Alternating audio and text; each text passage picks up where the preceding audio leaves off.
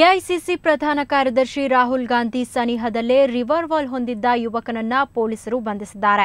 ಈತ ರಾಹುಲ್ ಹತ್ಯೆ ಮಾಡುವ ಉದ್ದೇಶದಿಂದ ಬಂದಿದ್ದನೇ ಎಂಬ ಸಂಶಯಗಳು ಕಾಡ್ತಾ ಇವೆ. ನೋಯ್ಡಾ ಗ್ರಾಮದಲ್ಲಿ ಭೂಸ್ವಾಧೀನ ವಿರುದ್ಧ ರೈತರು ನಡೆಸ್ತಾ ಇರುವ ಹೋರಾಟದಲ್ಲಿ ಭಾಗವಹಿಸಲು ರಾಹುಲ್ ಗಾಂಧಿ ಆಗಮಿಸಿದ್ರು. ಬೆಳಗ್ಗೆಯಿಂದ ಸಂಜೆಯವರೆಗೆ ರೈತರ ಜೊತೆ ಓಡಾಡುತ್ತಾ ಅವರ ಸಮಸ್ಯೆಗಳನ್ನು ಆಲಿಸಿದ್ರು. ನಂತರ ಸರ್ಕಾರ ಭೂಸ್ವಾಧೀನ ಕೈಬಿಡುವವರೆಗೆ ಇಲ್ಲಿಂದ ತೆರಳುವುದಿಲ್ಲವೆಂದು ಬಿಕ್ಕಿ ಪಟ್ಟು ಹಿಡಿದು ಧರಣಿ ಕುಳಿತರು. ಈ ವೇಳೆ ಯುವಕನೊಬ್ಬ ಅನುಮಾನಾಸ್ಪದವಾಗಿ ರಾಹುಲ್ ಬಳಿ ಆಗಮಿಸ್ತಾ ಇದ್ದ. ಯುವಕನನ್ನ ಕಂಡ ರಾಹುಲ್ ಅಂಗರಕ್ಷಕರು ಅನುಮಾನಗೊಂಡ್ರು. ಕೂಡಲೇ ಪೊಲೀಸರ ಸಹಕಾರದೊಂದಿಗೆ ಆತನನ್ನ ಹಿಡಿದು ಪರೀಕ್ಷಿಸಿದಾಗ ಆತನ ಬಳಿ ರಿವಾಲ್ವರ್ ಇದ್ದದ್ದು ಪತ್ತೆಯಾಗಿದೆ. ಪೊಲೀಸರು ರಿವಾಲ್ವರ್ ಅನ್ನ ವಶಕ್ಕೆ ತೆಗೆದುಕೊಂಡು ಯುವಕನನ್ನ ಬಂಧಿಸಿದ್ದಾರೆ.